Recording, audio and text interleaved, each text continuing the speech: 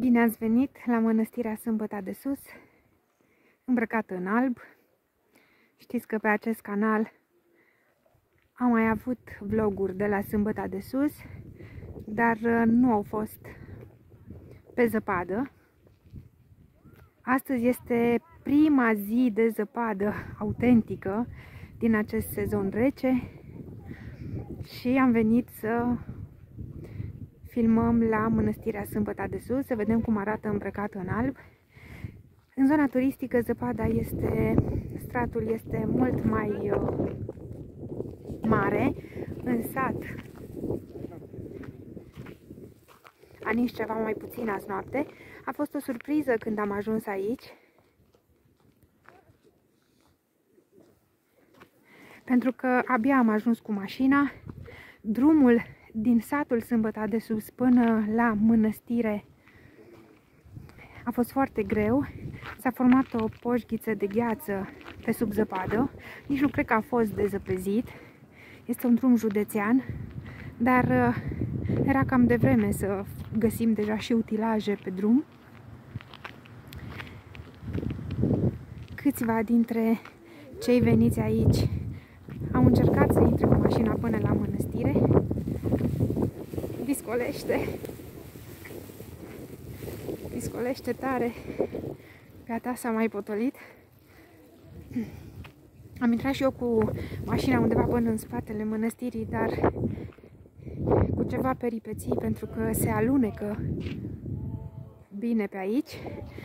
Sunt călugări, sunt angajați care dau zăpada în continuu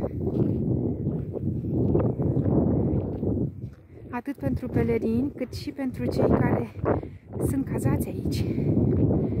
În partea dreaptă, clădirea aceea care se vede în dreapta, se numește Academia Teologică Sâmbăta de Sus și are și rol de hotel. În regim hotelier sunt cazați oameni acolo.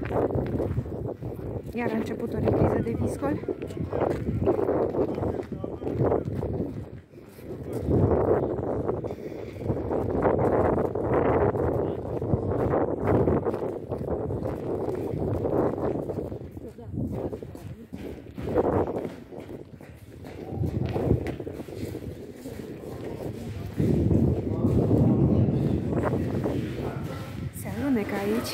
Pe pardoseala aceasta după ce vide pe aleea înzăpezită.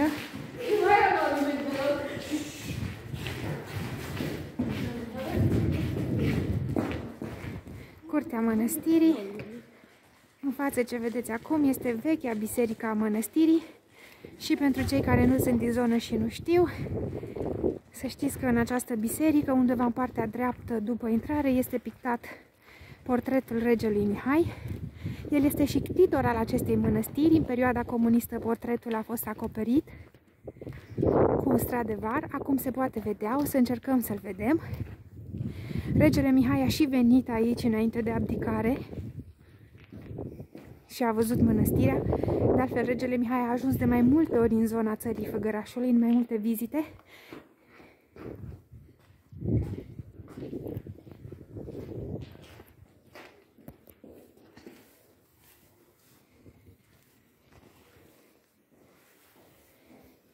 Vedem dacă se vede portretul. Acesta este, lumina nu este bună, dar uitați-l pe regele Mihai. Titorul mănăstirii Sâmbăta de Sus,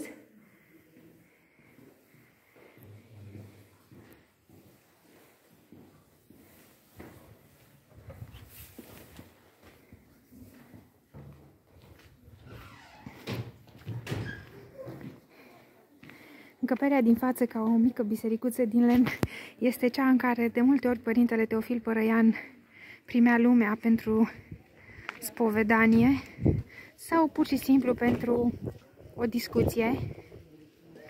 Mi-aduc aminte că pe vremea când lucram la un post de televiziune, în postul Paștelui, am venit să fac o emisiune despre post, despre sărbătorile pascale cu Părintele Teofil L-am așteptat pentru că avea oameni care doreau să vorbească cu el și am hotărât împreună cu părintele să facem uh, câte o scurtă poveste despre fiecare zi a săptămânii dinaintea sărbătorii. Luni, ce reprezintă luni, ce reprezintă marți și așa mai departe. A ieșit foarte bine. Uh, mai erau câțiva uh, reprezentanți ai presei, printre care mi-aduc aminte cineva din, din uh, zona Moldovei de la TVR, care ne-a rugat să-i transmitem prin poștă înregistrarea ca să o folosească și ei. Știau de părintele Teofil și de altfel unul din motivele venirilor aici chiar părintele Teofil era. Părintele și-a cerut scuze că l-am așteptat atât de mult și am zis nu-i nimic, părinte, pentru că în timpul acesta ne-am făcut prieteni, referindu-mă la uh, domnul de la televiziunea română. Iar părintele ca un semn de clar văzător și de clar viziune, mi-a spus și n-am să o niciodată, este o prietenie care va dura puțin. Și așa s-a și întâmplat pentru că nu l-am mai văzut niciodată pe domnul respectiv. I-am trimis uh, caseta așa cum m-a rugat, dar nu am mai dat niciodată de el, nu ne-am mai auzit la telefon, nu mai știu nici cum îl cheamă. Este o amintire pe care o am despre părintele Teofil Părăian. Așa, o altă personalitate marcantă care a viețuit aici la mănăstire este Părintele Arsenie Boca, cel care, după ce a devenit viețuitor al mănăstirii, a devenit și stareț. Sunt uh, elemente din cadrul uh, din partea exterioară a mănăstirii care datează de pe vremea lui Arsenie Boca, de exemplu, pentru cei care au fost la lacul Cupești, care se află în spatele la ce vedeți acum, acolo este o masă veche din piatră. Ei bine, masa aia veche din piatră a fost adusă de părintele Arsenie Boca. Și mai sunt și alte elemente de mobilier uh, exterior care sunt din vremea lui Arsenie Boca. Undeva mai în sus de această mănăstire, la vreo 2 km, se află și izvorul părintelui Arsenie Boca, un loc unde el se întâlnea cu credincioșii și de unde astăzi izvorăște apă. Uh, lumea se duce și ia apă de acolo și zice o rugăciune.